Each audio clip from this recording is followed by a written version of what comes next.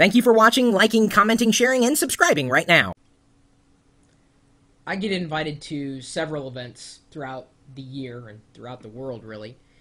And uh, I was supposed to attend an event today on Microsoft's campus called Advance 08, uh, where they were going to make a series of announcements. And unfortunately, uh, over the past couple days, I've been having pretty heavy handed issues with uh, respect to my own web servers. And so I've been babysitting them and wasn't able to kind of escape the confines of my home office. However, uh, that said, uh, Microsoft has been making quite a few waves with a couple of the announcements that they made.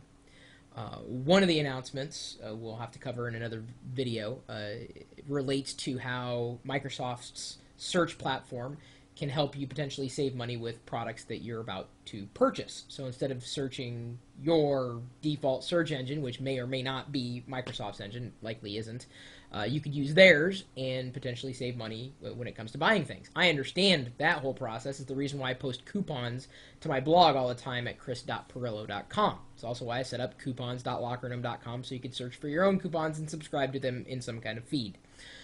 Um, so the the second announcement that started to make waves dealt with how Microsoft was talking about bringing advertising to something like the Zune.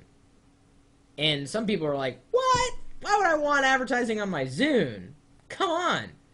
Well, I, I, it's not horrible. I mean, okay, so we put up with a lot of advertising and, you know, when they started talking about putting advertising in video games, you know, I, am sure gamers are like, ah, what the heck? Yeah, I don't want to see ads in the games. But, you know, they're put on billboards or they're just done, you know, somewhat tastefully for the most part. Not always. So, advertising has been inside of platforms like game consoles for you know years and years and years. I mean, the Xbox 360 is littered with advertisements. I'm honestly not that annoyed by the advertisements on the Xbox 360. Uh, I don't feel like they're in my face. I feel they are actually offering me a value. Oh, there's a new game out, or there's something here, or what's going on. I feel like it's a part of the experience. I don't feel like I'm losing out on that experience. So the discussion, you know, really you know, kind of fell onto people saying that they didn't want to have uh, advertisings mixed in with their media.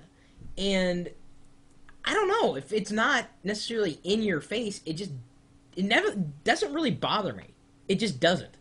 Um, you know, I mean, if if let's say Microsoft offered a, a, a way for a musician to release an album for free if it was underwritten by a sponsor, if the album or this content is free, well, who are you to argue? Who would I be to argue?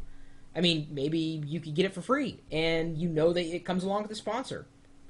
Advertising is not going away. Uh, and if Microsoft is making it easier for advertisers to get onto a variety of platforms and create a seamless experience with the brands that they intend on supporting, uh, I'm never going to say that's a bad idea. Never.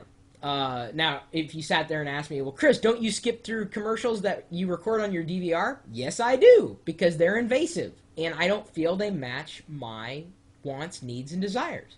Now, if you ask me if I block ads on my web browser, um, since I switched to Safari, no, uh, I'm not running any kind of ad blocker. It blocks pop ups, which are an invasive form of advertising.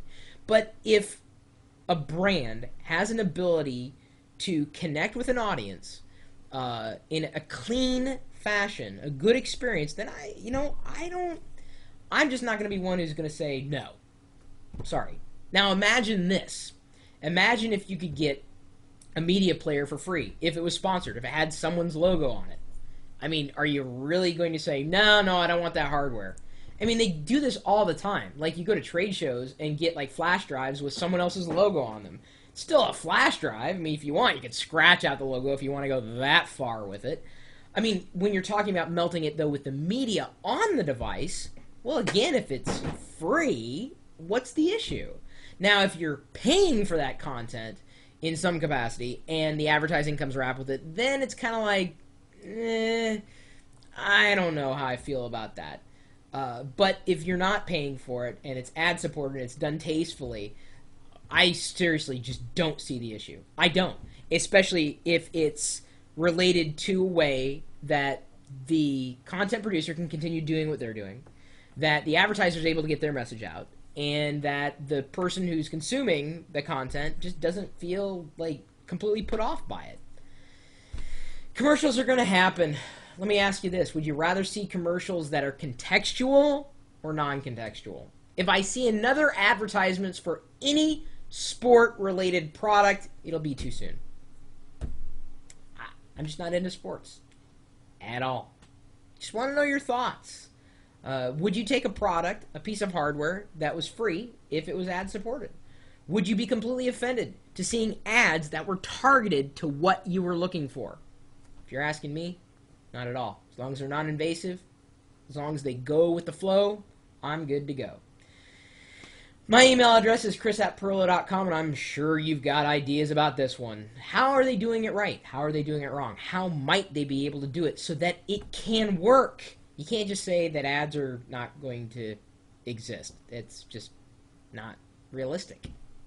I just don't see it as realistic. They're going to exist, so figure out how to get along with them. Just as long as they're getting along with you. That's kind of the, the whole user centric caveat that I'll throw into it.